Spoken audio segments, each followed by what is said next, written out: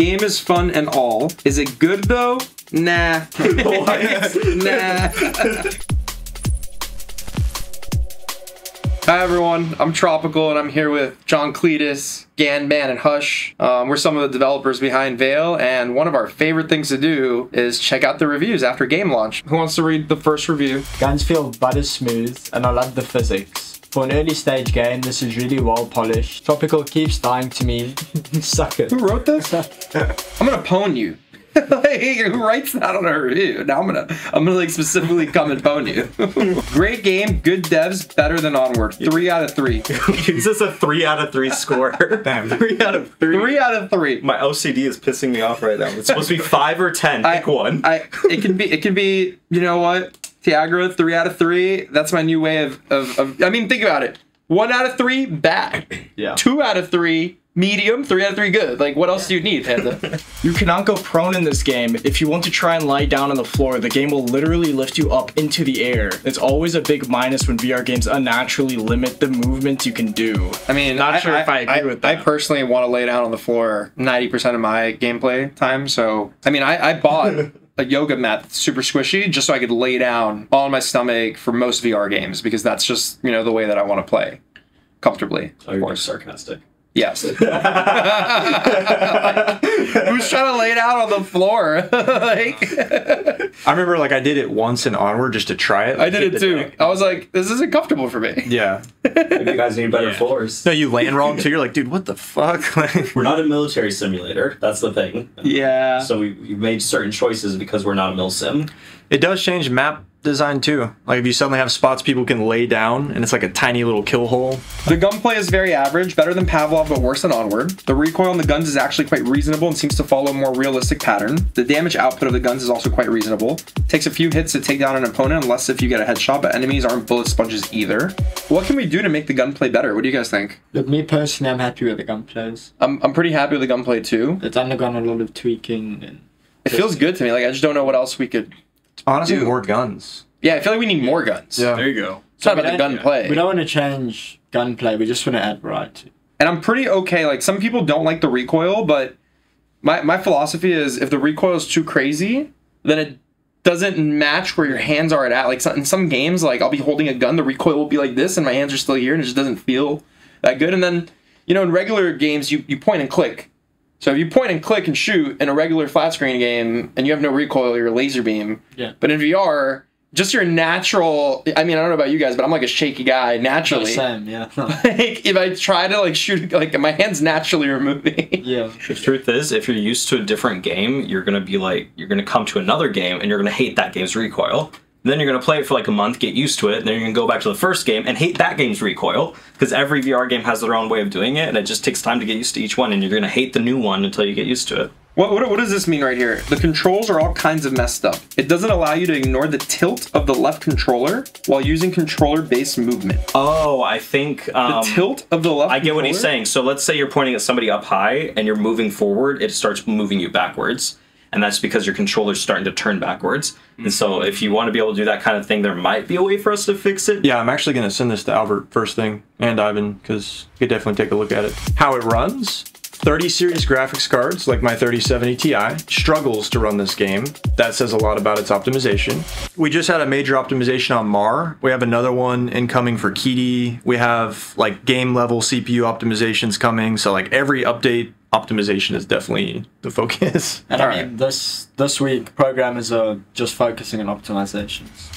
Maps are terribly made and are all CT sided. The only good map is Suna. Why? Because it's a copy of Dust 2. So so quick question: Why is it that John Cletus prefers to make all maps CT sided? Do you do you start off with that concept, or does it just end up being that way? I always feel like the CT should have an advantage and be able to set up and plan a little more. Like T's are gonna rush or plan like more. Are you just a Rayab mm-hmm. fanboy? Oh, Because yeah. you know I'm calling this right. Can we can we please get some T sided maps coming up? There's some in the work for sure. So so it's not that they're CT sided. It's that strategically you want the counter the defenders to get to their Oh locations yeah. first. Like if you it. if you look at all our maps, CTs get to sites first. They should. They should be able to at least set up before you know a full player rush stuff like that. So So it's not that they're actually to like defender sided. It's just No. like, that's just how a game's supposed to play, right? But if you give defenders like super OP strong positions, it can be that way. So we are constantly looking out for like balancing angles and stuff where it's like too OP. The LAN was a great experience for me and I love the opportunity, but about 60% of the people in the crowd didn't know what was going on. Being a player there, I had someone ask me if I could see players through walls like the caster skin.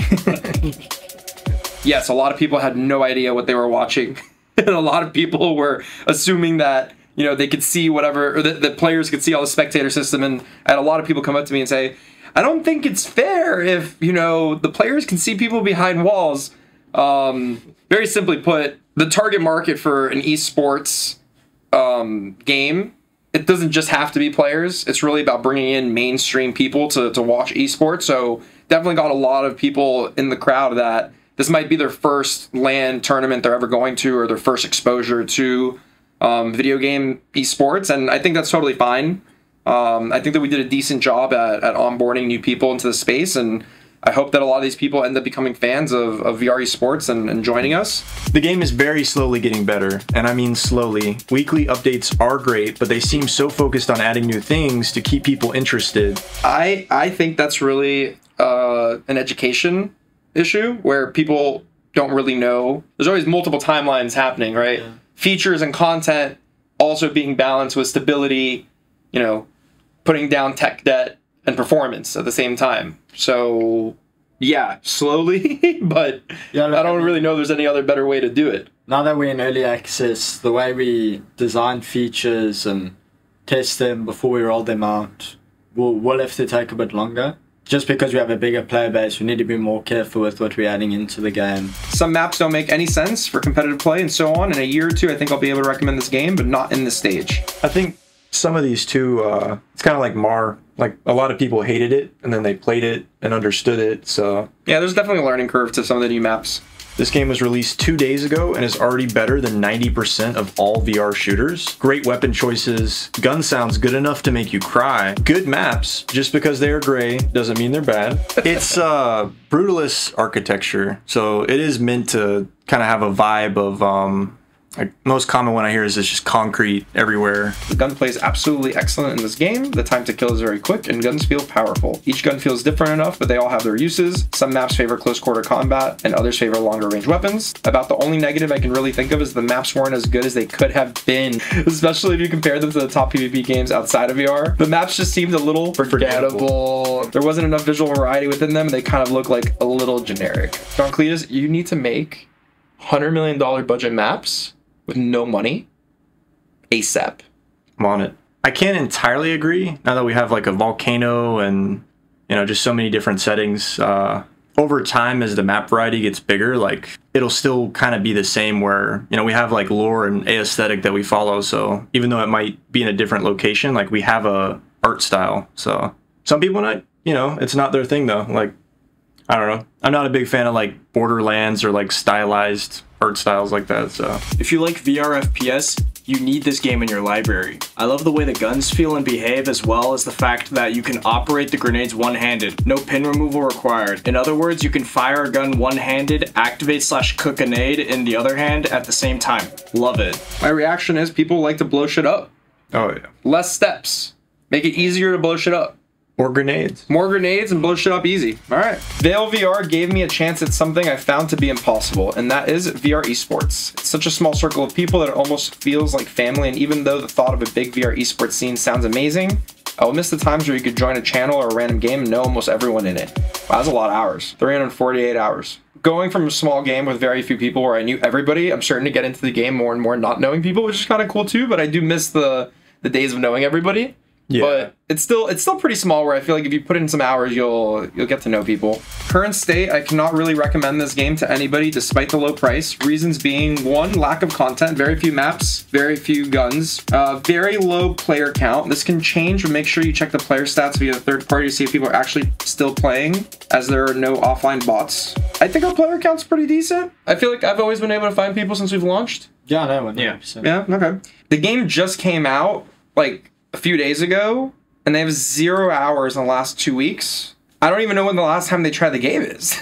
like, I don't know. I don't know what they're talking about. Gameplay, this one is subjective, but I find the lack of recoil, lack of economy, casual help, like seeing friendly through a wall, no friendly fire, to be just not what I am looking for. Oh, Yeah. like being able to see your friendly. I mean, I I, I kind of like that I can know where my team's at. The thing is, like, we do plan on modifiers for custom lobbies for stuff like friendly fire, and you know, some games will have like hardcore mode where it does turn off all those casual features. So like, we're not closed off to giving the player more options. Oh, this is me. Tropical approves of this game. I did approve of this game, and I felt like I have earned my review because I've put almost a thousand hours on my main account.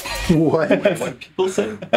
Someone wrote, I don't know, but having an avatar of this game, hidden game library for public, and having this game by activation key sounds like a fake review. Nice one. the most unbiased Steam review I've ever seen. I, I agree. Totally not biased whatsoever. The Big Talker writes, I hope you're proud of your steaming pile of dog shit of a game you have here. It looks like you guys made a lot of improvements since the alpha. AEXLAB deserves a reward for biggest VR scam company of the year. Congrats. What? It gets better though. The big someone called Mac and Boney. The big taco. You literally have over 300 hours in Rocket League. Lol. Your opinion is invalid. so we've gone through all the reviews. We really deeply care and appreciate each and every one of you for taking the time out of your day to leave some feedback. Uh, Steam reviews are super important, especially for indie devs. I mean, Call of Duty, Modern Warfare. You can slap them with a million reviews and give it 30% or whatever it's at. Won't change anything, but for indie developers, good, medium, and even bad reviews are extremely helpful, especially when there's actionable items on the list. So, taking all this feedback into account, we're working on performance, we're working on stability, we're working on adding more content like guns, modes, and novelty fun game modes. And we're also now listening to the community because now that we're live, we know where people are. So we've added servers in Tokyo, Singapore, and in Brazil with many more servers to come. So if you live somewhere where you're not getting good ping and there's a community, please feel free to reach out to us and let us know. We will spin up servers for you all to enjoy. Thank you so much for taking the time.